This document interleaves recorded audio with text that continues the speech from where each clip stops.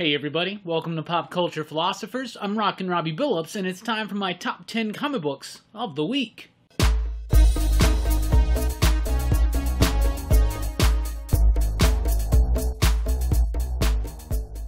That's right, everybody. Thanks for checking out the video. I am Rockin' Robbie Billups. This is my top 10 comic books of the week. So out of every new comic book that came out this week, these are the 10 that I would highlight as probably something you might want to check out. Absolutely. This is not a spec list. This is simply based on my enjoyment of the books. Let's get it going. At number 10, Lost Soldiers number 1 from Image Comics, written by Aleš Kot with artwork by Luca Casalanguida, Heather Marie Lawrence Moore on the coloring, and Aditya Bidikar as the letterer.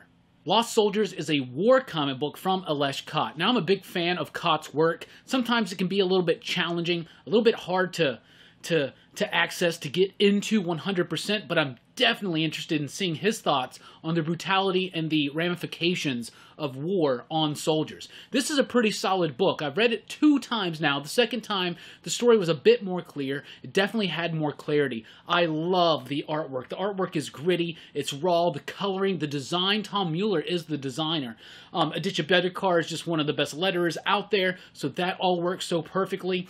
Um, you get the idea of what this story is setting up. And only on the second read did I quite really get it. That little bit of back matter at the end was pretty important. But if you're a fan of Kot, I definitely recommend that you pick this one up. It's going to be a five issue series, I think, from Image Comics. And I'm really interested, like I said, to see Kot explore the themes of dealing with war long after the fact. It's about these two soldiers who were friends in Vietnam, and it's telling their story of what happened to them in the war, and then it jumps ahead to them as old men in a modern day situation. And at the end, it sets it in a direction that once you realize what's going on, it's pretty damned exciting. At number 9, Wonder Woman 759 from DC Comics written by Mariko Tamaki, with artwork by Mikel Janín and Jordie Bellaire on the coloring, Pat Brosseau on the lettering. I've been wanting to have a good, solid Wonder Woman book for a while now. Now, I'm not saying that this is the start of the next super solid run of Wonder Woman, but the first issue was pretty decent. Didn't blow me off my feet, didn't blow me away, didn't do anything like that, but it was a great setup with a returning fan favorite villain, at least a, a Robbie favorite villain, I should say, with the artwork by Janín. There's some moments where it gets a little weird looking at times, but for the most part, it's got excellent composition, great sequential storytelling, and Tamaki really did an engaging job on her first issue of Wonder Woman. She's now going to be the ongoing writer for a time, and this is a pretty promising start to the new adventures of Diana. I think Wonder Woman now, especially since she's a big star in pop culture because of her recent success in the movie theaters, I think that Wonder Woman needs some top-notch creative talent. Ta, Tam, uh, Tamaki just won an Eisner for Best Writer of the Year, so this is primed right up there for it. I like the art, I like the setup for the story, and I really, really like the returning villain that you see at the end. It was a great shock, a great surprise, and I'm very much down for what's coming next. At number 8, Ascender, number 11, written by Jeff Lemire with artwork by Dustin Nguyen, lettering by Steve Wands. I keep saying it over and over. Jeff Lemire is just a comic book writing beast, and Ascender is no exception. What used to be a great science fiction book from Lemire and Nguyen has now become a really intricate and detailed and very cool and nuanced fantasy book set in space. Really liking it. It picks up a little bit maybe on Star Wars vibes, but it blows Star Wars away as far as the nuance and tragedy of the storytelling, the characters, the likability, the relatability of them. And now we're starting to see all these different pieces from Descender coming back. For instance, one of my favorite characters from the entire saga, Driller. Very excited about this issue. It did not disappoint. Dustin Nguyen's coloring and his, his line work, everything about it is beautiful, ethereal, magical, and captivating. That's exactly the word to describe Nguyen's work, artwork here is captivating. This book is compelling. It's it's it's in it's enhanced by an entrancing beauty from the artwork to the dialogue, everything about it I absolutely love.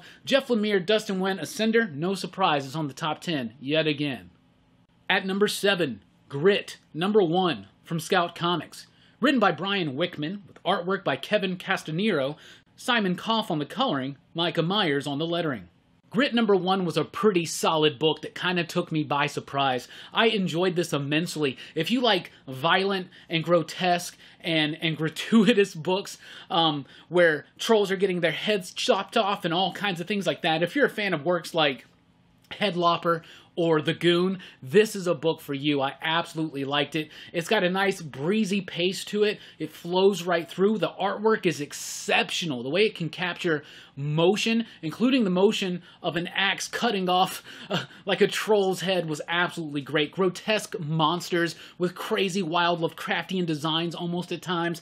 I had so much fun with this one. It's a very simple story. Like I said, it's got a nice breezy pace to it, but the writing did not get in the way of the artwork just taking center stage. The artwork on this sold me. The, the motion that's captured, the dynamic energy and flow to it. Plus, all the really great violence. I really had so much fun reading Grit. Wasn't expecting too much from it, and I was thoroughly surprised. This is pretty much going to be my sleeper hit of the wit of the week. And like I said, if you like books like Goon and Headlopper and things like that, books that are really cool, very fun, but don't take themselves too seriously, Grit might be for you.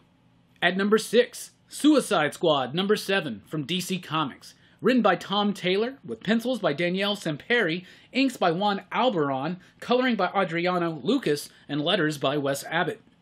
Yo, so I finally got caught up on Suicide Squad, and I'm so glad I did. Tom Taylor is a killer writer right now, doing amazing work on most of the Elseworlds type stuff. I've been clamoring to get him on an actual mainstream book, a main title set in continuity, either at DC or Marvel. He's got the chops. We know he can make us, uh, he can make a story emotionally resonate, even if it's not tied into continuity or things like that. And of course, he's on Suicide Squad, but for me, I've been kind of backing off of Suicide Squad ever since the new 52 days. I used to read Suicide Squad back in the day when it was mostly centered around Deadshot, Captain Boomerang, Penguin was in a few issues, but I love that stuff from the late 80s. And so this book was very refreshing. Tom Taylor and company have actually brought a lot of style and flair and panache to Suicide Squad. Harley Quinn is not overly annoying whatsoever. She's perfectly utilized, but the new characters, this new team, I think they're the revolutionaries or whatever, what compelling, interesting characters. So after reading 1 through 6 and getting caught up, and now issue 7 this week, what a great spotlight on Deadshot. His motivations, what he's doing, his past, all that stuff. One of my favorite characters from Suicide Squad lore, and this issue just was such a delight, such a treat. Like I said, Tom Taylor and company, they've been bringing a lot of style to this book, and the flow, the pacing of it, it's expert level, and it's one of DC's best books. I'm glad I'm caught up on it. If you haven't been reading it, I highly encourage you to do so. At number 5, Hedra, number 1, from Image Comics by Jesse Lonergan. Hedra's a really nifty, like magazine-sized one-shot comic book. It's an interesting format. It has no words, but it's got a great sense of composition, panel design, and layout, and a really cool and efficient and interesting way to tell this story. The story is about someone who's been shot up in a rocket into space. They come across this crazy person or being in space and then they have this crazy adventure together. Like I said, there's no dialogue. It's told in in and it's told strictly through the artwork, tiny little panels that really make some really powerful and interesting pages to just dwell on. This book, even though it didn't have a lot of writing in it, could have been a breeze to get through, but I let it just sink in. I loved it. If you like very innovative, independent styles of comic book thinking and, and structure, this one might be for you. It's just a one shot, so there's nothing before, there's nothing after, but I really liked it. Jesse did a fantastic fantastic job on this book, and I would like to see more work from him. At number four, That Texas Blood, number two from Image Comics, written by Chris Condon with artwork by Jacob Phillips. That Texas Blood number one gave me a very distinct Coen Brothers vibe and a neo-noir western type vibe that you get from the Coen Brothers work on books like, I mean, on movies like no Country for Old Men. Issue number two goes in a little bit of a different direction. Still feels a little Coen Brothers esque. Still's got this nice flair for dialogue, humorous situations, well, darkly humorous situations. But issue number two of That Texas Blood was really, really solid. We're introducing a new character. He's pretty engaging, very compelling, and they're building the mystery of what's going on in this small Texas town, and they're doing it by building the characters up, and therefore the plot kind of uh, kind of organically flows out of that. It doesn't feel like it's trying hard. It feels like this is effortless to them. Jacob Phillips' artwork is absolutely exceptional. He is the son of Sean Phillips. His style is similar in atmosphere and tone, but not similar at all as far as the actual line work goes, um, and the style even but I absolutely love this book. The artwork is amazing. It's got a, a rough, scratchy edge to it. The coloring is phenomenal. It's set in Texas. They definitely capture that setting so well. Like I said, new interesting characters introduced in the second issue, and by the introduction of these characters and learning about them, you learn a whole lot more about what the gist of the story is going to be, the mysteries that are going to be unraveling, and the focus on this small town and the characters that populate it. I am sold. Two issues in, that Texas Blood has won me over. At number three, The Kill Lock, number six, written and illustrated by Livio Ramondelli with lettering by Tom B. Long. The Kill Lock has been an absolute pleasure to read. This is the final issue, and it's got a very incredibly strong ending that kind of took me by surprise. Didn't really see it coming, but it's a very effective ending. It's the ending I feel the story deserved, and it kind of threw me for a loop, but I loved it so much. The artwork has been exceptional, but the story, the, it's about these four robots who are sent basically on a death sentence, but they don't just outright kill them. They they lock them together with the kill lock program. If one of them dies, all four of them will die. So now they have to kind of keep each other alive, take care of each other, learn about each other. They're all from different classes, and it actually is one of the most human stories I've read over the last year, and it's all about machines and robots. But it was handled so well, and this ending is powerful and I don't want to say much else. I'm sure we'll be talking about it tonight on the Best Comics of the Month live stream on the Everything Comics channel, 7 p.m. Central Time. Me, Bueller, Bob, and Dylan gathered together to talk about our favorite comic books of the month. You don't want to miss that. I'm sure we'll be talking about Kill Lock, because Kill Lock is a book that I eventually kind of wandered away from, but those three cats pulled me right back in They're like, you got to read this book. It's getting better, and I 100% am so happy that I did. This ending was incredibly satisfying. It was dark, it was human, it had tragedy, it had nuance, it was absolutely epic, and I loved it. If you haven't read The Kill Lock, this is the final final issue. There's going to be a collected edition soon. You should definitely check it out. At number two, Bleed Them Dry, number two from Vault Comics. Written by Eliot Rahal with artwork by Dai Ruan, coloring by Miguel Muerto, and lettering by AndWorld Design. Bleed Them Dry is absolutely a bonkers awesome book. It's got a great sense of action and flow and pace. It's got nice sci-fi elements to it. It's basically a cyberpunk ninja vampire futuristic tale, and the artwork is exceptional. Beautiful, imaginative um, cityscapes, great figure work, great work with the uh, movement, with the action scenes and the pace and the flow. The writing is super solid. It's Eliot Rahal. He's crafting a noir, neo-noir detective story, futuristic, involving a conspiracy about vampires being killed and vampires kind of like the the aristocracy of human of, of society at this point in the future. And so when vampires start getting killed they put two of their best detectives one human one vampire on the case. And what they unravel starts unraveling this centuries old conspiracy and this and that. And like i said ninjas vampires in a futuristic cyberpunk s type world it's like blade runner meets blade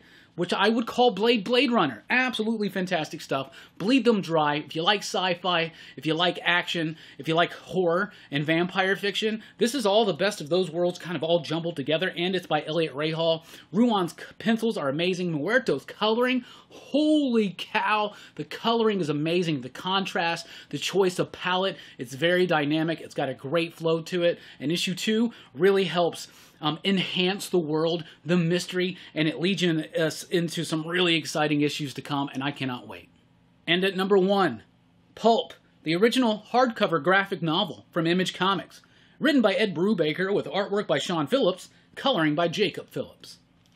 I know I already ranted and raved about this book in the weekly comic book review, but bear with me. Let me do it again. What an amazing story. When Brubaker and Phillips are working together on books like Criminal, Fatal, The Fade Out, Kill or Be Killed, and many, many more, it's just some of the best comic books you're ever going to read. This is no exception. Pulp is an original graphic novel. Nothing came before, nothing's coming after. This is one complete story. It is in hardcover, but it's still at a decent price. I'll throw a link down below in case you can't find it at your shops where you can pick it up at a link through us and even help support the channel out just a smidgen.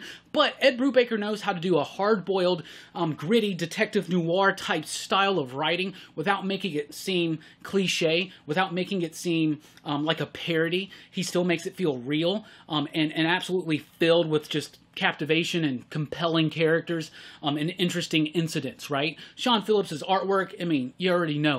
It's absolutely amazing. You add in his son, Jacob, doing the coloring. This is some of the best coloring work I've ever seen from Jacob. It's got a great, raw, gritty style. This book is half pulp comic, half Western comic in a way. The basic premise of the story is that there's this dude who in the late 1800s was a cowboy bandit. He was an outlaw, right? Now we cut to 1939. He's an old man. He's got financial problems. He's a writer who's writing pulp stories based on his prior life as an outlaw bandit, right? That's really interesting, but he's got too many problems. It's tough times for everybody, and now he's contemplating a return to that life of crime.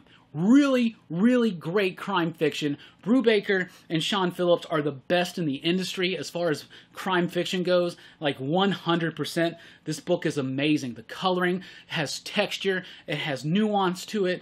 Oh my goodness, this book, I couldn't get enough of it. It was a very quick read, um, but I instantaneously want to go back and revisit it. Such an amazing book. And I've heard rumors out there that some of these have signed book plates uh, stuffed in them. Mine did not.